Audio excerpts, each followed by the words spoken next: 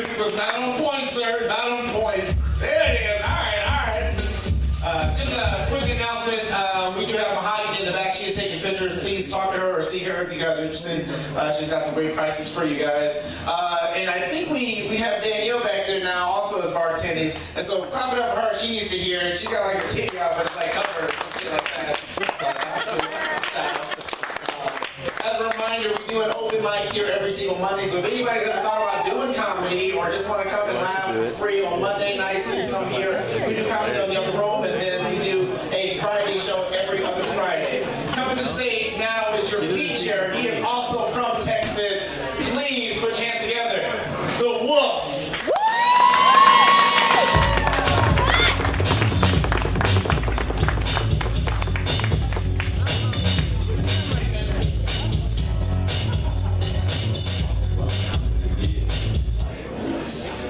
was speeding on the way over here.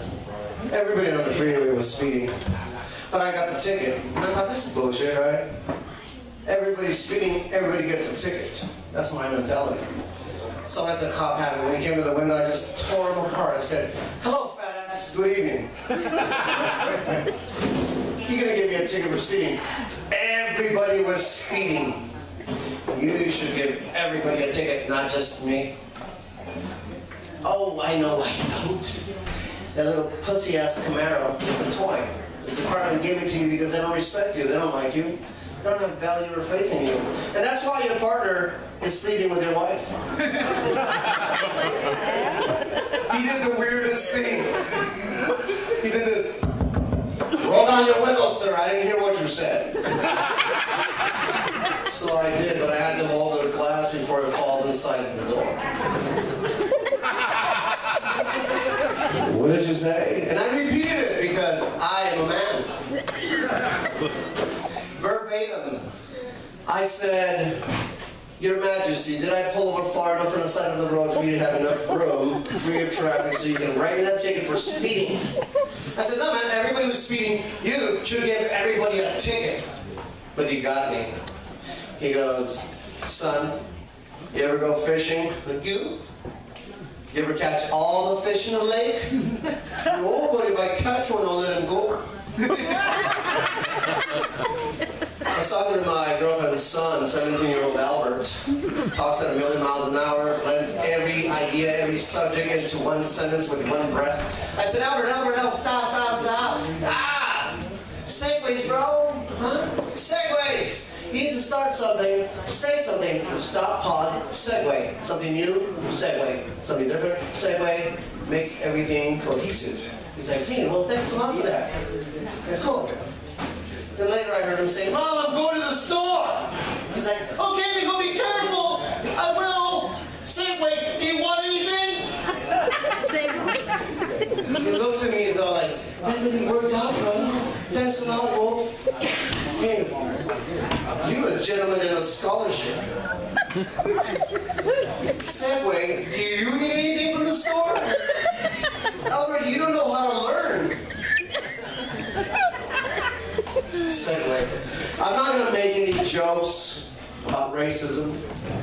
Everybody does it. I'm not going to make any jokes about current events because I don't. I didn't read the paper. No pictures. I said no. I'm not going to make any jokes about tragedies because listen, there's no sense in kicking somebody when they're already down. What we need as a world, as a unit, as a room tonight, touch. We need unity, we need peace, and we need love. And if you can't do that shit, please raise your arm and then get the fuck out. I said no pictures, okay? Oh, you for real? Yeah, for real. I follow the black people.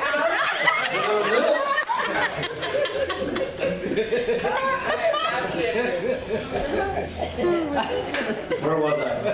No, I'm like, where, where are you? Listen, uh, we want we want to be hypocrites, right? We, we just don't want to do that because there's too many hypocrites in the world, right? There's uh, the religious people that hate the gay people. But if you really think about it, the underlying tone, religious versus gays, is what? I'll ask you, sir. What is it that the Christians are fighting the gays against? What is it? What is it? Now I'll ask you this one more time. What are they fighting about? They have the same operation, the same modus operandi. Both gays and Christians are just trying to shove it down your throat. Not your throat, like but his. No, not you, because you're like, well, I see what you did there. You misdirected it. Good job. Are you Christian or I'm gay.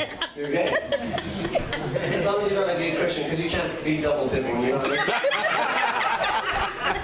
mean? Which is all right. My dad said, listen, Wolf, Wolf, son, you gotta be tolerant of everybody. Dark-skinned ones. And if you put everybody in a bus, everybody's green, right? Some asshole's gonna be like, okay, all you dark green guys, go to the back of us. That ain't cool. My dad said, listen, you gotta care about everybody. If there's a guy and he's gay and he's just happy, leave him alone. And you think about that and it's true. Leave people alone. Live and let live, right? That's what my new motto is. New me, new you, new 2115. I don't know what year we were in because I do a lot of cocaine. But listen, listen. if a guy's jumping up and down going, yummy, yummy, yummy, there's a dig in my tummy, leave him alone. he's happy, he ain't hurting anybody. Yeah. That's my dad taught me. My dad, um, my mom and my dad divorced when we were very little. He never left the house though, so we always thought he was our older brother. yeah, and the weird thing about that is like my dad always jumped at these telemarketing phone calls when we were kids and he bought every service, every product, and I was his interpreter because he didn't speak very good Spanish or English. My dad's the kind of guy that whenever he would try to do like an English accent, he would sound normal. All right, not all the jokes are gonna be hits, everybody, but stay with me. We're gonna go into the valleys and under the peaks and all that. So my dad got a phone call from AT&T. They were they were promoting an international new subscriber line, free calls to Mexico. And he answers the phone like, ¿Qué quiere? ¿qué quiere? ¿Por qué Uh, we called from AT&T about the INS service. Oh, INS? Don't come. We're going back to Mexico tomorrow. Click. no, dude. We're citizens. What's wrong with you? And so he ended up taking the off. They asked for his information, right? His name is Jose Guadalupe Zuniga. The lady, and this is not me being racist, my black brothers. She keeps saying, uh, your last name is Zuniga? Are you sure? Like, no, it's Spanish, it's Zuniga. You're saying Zuniga, but listen, let's just keep going, right? So now here we are with Mr. Zuniga, accepting the international long distance to Mexico, and I'm his interpreter. She's like, okay, so your son's gonna help you out? He's like, yes, he, he very smart. Oh, is he going to school? Yeah, he, he go to MIT. MIT? Wow, you must be very proud. Yes, because MIT, Miguel's International Tracking is very hard to get into. Yeah, he has a PhD. Oh, he's got a PhD? Oh my god, he must be super proud. Yes, PhD, his pinche high school diploma.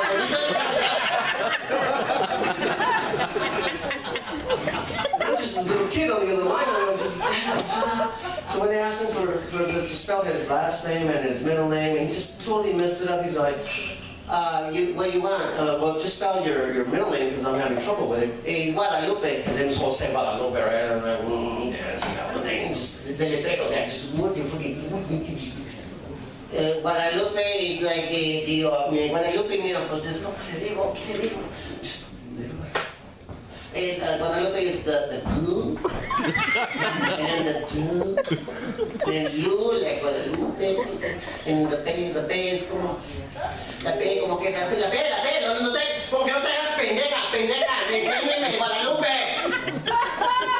Okay, so got it, take it easy, what's your address? And we lived on this beautiful street in the ghetto. The street's name was Golden Meadows. My dad's like, my address, 3511 Golden Meadows.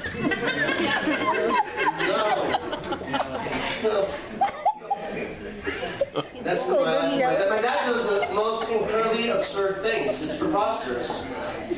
He does this stuff like he had a birthday party, and during the birthday party, he uh, he had a stroke, and uh, because of the stroke, you know, uh, he's like half paralyzed on his left side. Nobody knew he was having a stroke. I just thought he wanted to cut the cake with his face. and now he walks like this. He's like, "Hey, amigo," drags his foot, but the Alzheimer's kicks in. Then he drags the other one. Hey.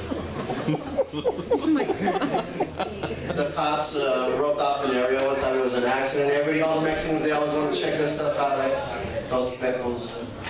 And my dad wanted to see too. And the cop says the same thing over and over. He's like, guys, go home. Go home. There's nothing to see here. Go. Disperse. Disperse. My dad's like, disperse the Lakers. But I moved out to Phoenix, just like everybody else moved out to Phoenix. I love it out here, man. And I'm gonna say this to you, you guys are, a beautiful city. I'm from El Paso, Texas, and I love my hometown, but I didn't want to be there anymore. And I love this city. You guys are a rocking city. And you know what, Arizona Cardinal fans, you did a great job. Give it up for that. Awesome job. You guys did. I'm proud of fan. You guys should be very proud of your city and of your team. Please be so. We are. Now. Yeah, go cards, man. Go cards. And uh, okay, if you have But it's, it's nice being out here, man. Uh, I, moved out here. I met a girl. I met her at Whataburger of all places. And Whataburger, dude, like the hottest chicks we got. Whataburger, guys. like I'm at Whataburger. I'm single. I just moved out here. I don't know where I'm gonna live yet because I just actually just left. and so I placed my order, and she goes, "Hey, can I get your number?" I'm like, "Hello." 915-502-4874. She goes, no, pendejo, the Whataburger order. Give it to me. Hey, there's people in line. Get out of the way. Get out of the way. Get out of the way.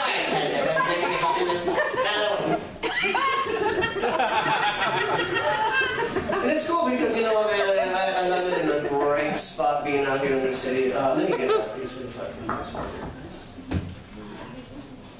Lighthouse. Black people, they're not allowed. Uh, I mean, uh, they're not allowed to come in without a chick. oh, yeah, yeah. Come on. Oh, you're at the door? Okay, come on. You guys turn off your cell phones, or if you're gonna turn it off, you can put them on like the loudest ringtone that's not a regular 1980s ringtone and shit? I'm so embarrassed because of my foot. No. I have OCD, man. That, that shit takes like 80 days to put on, and I took it off that stupid joke that didn't really work. Go down to the bellies and up to the peaks. Oh my god. I like the fat chicks, guys. You know which chicks I like the most? The big fat round chicks with the big fat round body and the regular size head. What the hell? No, no, not what the hell. These are- These are the chicks. Have you ever been with a fat chick? All right. Okay. I ain't trying to deflect attention to the white people. They're all fat behind you. Just use them. And you, you want to be with these big girls. You, know? you want to be with the big girls. Because uh, they have the best attitude. They always have like the coolest things to say, positive attitude. Like you get a skinny chick and that bitch just be like, "I'm single, yeah, I'm ready to mingle, yeah, slut." Fat chicks are a little bit different. They're like positive all the time. Like, I'm single, yeah, pass me the Pringles. and when you get on top of one of these creatures, you know what I mean? You get on top of one of these monsters and they're up there, high up there, you're just like, holy shit, how the fuck do I get down from here? All this bitch doesn't sneeze. And I'm like, baby, uh, can we turn off the light? Oh my god, are you shy? Shy? No, bitch. Don't you smell that shit? It's burning hair. The light was burning my hair. and all my black friends are like, dude, whoa, whoa. I like the fat girls too because of small cushion for the push. I'm like, no, bro, I'm Mexican. I see a fat girl. I don't think a cushion for the push. I think there's food in that fridge. Thank you guys. My name is Wolf. I hope you enjoyed the rest of the show. Have a great day.